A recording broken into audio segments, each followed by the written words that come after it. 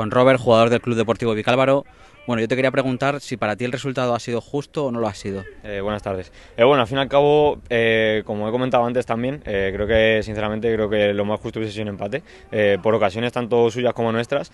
Eh, sí que es verdad que el control del juego lo hemos tenido nosotros, pero las acciones a balón parado pues hoy nos han matado, sobre todo el primer gol, que al fin y al cabo es una falta al frontal del área que me rebota a mí, pues dichoso destino que, que se mete hacia adentro.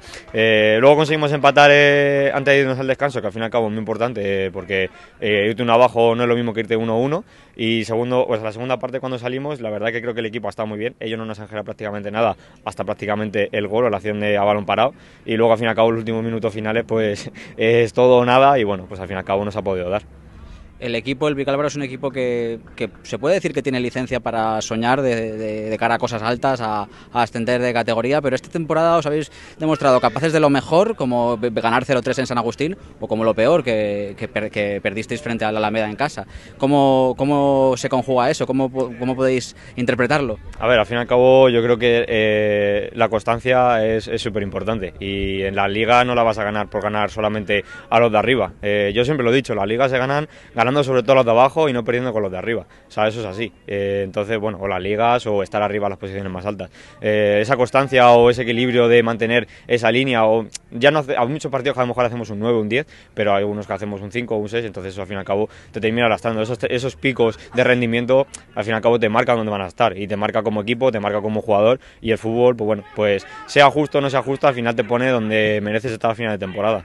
Esa zona de momento es la zona templada, o sea que ahora mismo imagino que sumar para aseguraros la permanencia y luego si se puede, pues soñar con algo más. A ver, yo creo que el tema permanencia, yo creo que eso está más que cumplido, pero al fin y al cabo, bueno, eh, a día de hoy, para ser realista, yo creo que nuestro objetivo tiene que ser por lo menos entrar entre los seis primeros, que la Copa puede ser algo bonito para, para el Vicaro el año que viene, y bueno, eh, Dios dirá dónde estaremos dentro de 16 partidos, Eh, pero bueno, queda todavía mucha liga, y, pero sí que es verdad que la la- los equipos de arriba se nos ha distanciado bastante, y sobre todo con el partido de hoy.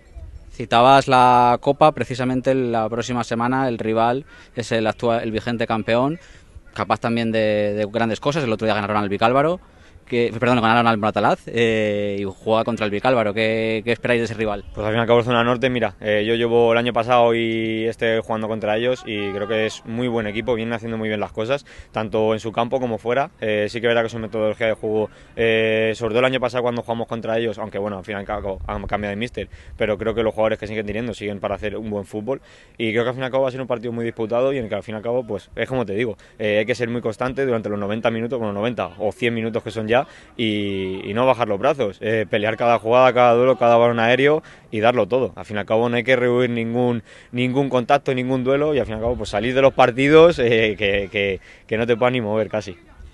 Y por último, ¿cómo es tu situación personal? ¿Cómo te encuentras dentro del Club Deportivo Vicálvaro? A ver, yo me encuentro muy bien, me encuentro feliz. Sí que es verdad que al fin y al cabo estos partidos he estado disputando menos minutos de los que yo también consideraba. Sí que es verdad que también eh, empecé jugando eh, y luego tuve la lesión de la costilla que me fracturé y al fin y al cabo estuve dos meses sin jugar, que eso quieras o no, eh, merma bastante y sobre todo para un jugador con mis características de muy explosivo, muy veloz y que ya no tengo 20 años, ya son 25 años y quieras o no, año a año se va notando. eh, entonces, bueno, sí que es verdad que yo con el club y con el equipo estoy muy contento, pero sí que creo que obviamente pues a nivel de minutos creo que a día de hoy con los que partidos que llevamos ya jugados debería llevar más. El míster ha decidido eso, eh, yo he acatado eso eh, y hoy por lo menos me ha dado la, la oportunidad de ser titular. He podido meter gol, no he podido ayudar al equipo para poder llevar los tres puntos, pero yo mi filosofía al fin y al cabo es seguir trabajando en el día a día. Eh, las oportunidades que me den, si me dan 30, 20 minutos, lo voy a aprovechar todo lo que puede más y ojalá eh, poder jugar todos los partidos 90 minutos o como hay 80 y sobre todo poder ayudar al equipo a sumar los tres puntos día tras día.